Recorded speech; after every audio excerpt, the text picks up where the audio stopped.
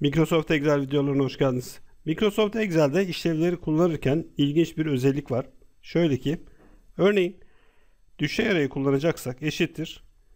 Düşey deyip yazdığınızda alt tarafta işlevi görüp tab tuşuna bastığınızda parantezin otomatik olarak geldiğini görürsünüz. Bu bildiğimiz, kullandığımız bir özellik. İşlevimizin alt tarafı açıklaması gelir. Yani neyin ne olduğunu gösteren bir açıklama gelir. Burada bastığınız zaman bunun ne demek istediğini görürsünüz. Eğer bu açıklamayı hücrenin içinde görmek isterseniz Ctrl Shift A tuşlarına sırayla basarsanız yani kontrole basıp basılı tutup Shift'e basıp basılı tutup yani kontrol ve Shift'e basılı tutup A tuşuna bastığınız zaman açıklamanın bu şekilde geldiğini rahatlıkla görebilirsiniz. Tekrar bir deneyelim.